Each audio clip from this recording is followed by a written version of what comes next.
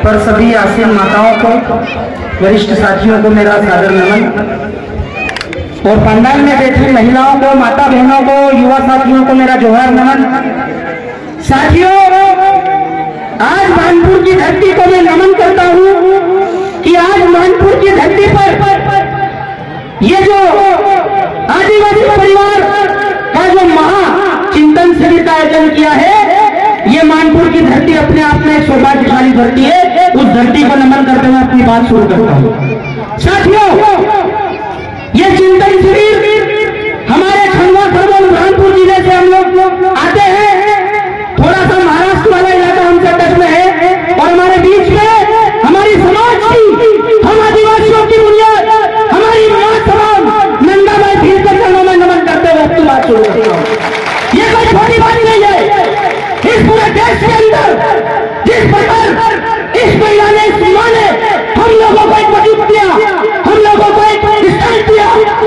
बड़ी बात मैं उन हरामखोरों को कह देना चाहता हूँ।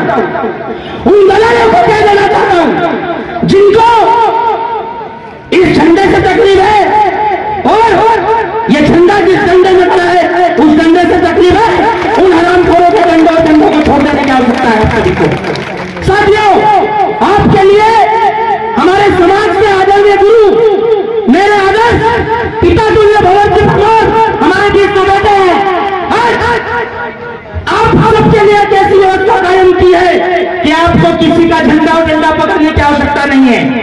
हमारी समाज में अभी भी कई लोग हैं जो इन व्यवस्थाओं पर उंगली उठा रहे हैं। मैं उन लोगों को भी कह देना चाहता हूँ कि ये जो जन जागरण है, ये समाज की बुनियाद को खड़ा करने वाला जन जागरण है। और यदि आप लोग ऐसे जन जागरण करने वाली सामाजिक टीमों के बीच में आकर के बाधाएँ खड़ी करते हो तो ये जितेंद्र असलकर आपको खुला चैलेंज देता है टेबल पे बैठ करके बात करके दिखाओ सीने से सीधा टकरा करके दिखाओ बहुत बढ़िया क्या बोल रहे हो आप ये हराम खोरी करना बंद कर दो आपको क्या लगता जितनी माताएँ बैठी है। ये जितने भाई बैठे हैं, आप बताइए, इस देश में सबसे बड़ी लड़ाई कौन सी है? सबसे बड़ी लड़ाई और सबसे बड़ी ताकत कौन सी है? सारा का सारा लोकतंत्र सिस्टम चल रहा है। और आप लोग बुराई कर लो अरे शर्म से डूब करो। खुद को सामाजिक कहते हो? चुल्लू बंद पानी आपके पास में तो हम आपको अवेलेबल करवाएँगे डूब करो उसमें इतनी बड़ी लड़ाई में आप लोगों को पीछे खड़ा होना चाहिए कदम से कदम मिला करके साथ में चलना चाहिए। मैं अपने सामाजिक साथियों को कहना चाहता हूँ, भाइयों, आपको सहयोग लगातार आगे बढ़ो। हर दुश्मन से मुकाबला करने के लिए हम तैयार हैं। किसी से डरने की आवश्यकता नहीं है। किसी से झुकने की आवश्यकता नहीं है। किसी से हिलने की आवश्यकता नहीं है। आपके पास इतनी बड़ी बड़ी तोपे हैं कि दुश्मन को नस्त नाबूद करने के लिए हम लोग कायम है। सक्षम है।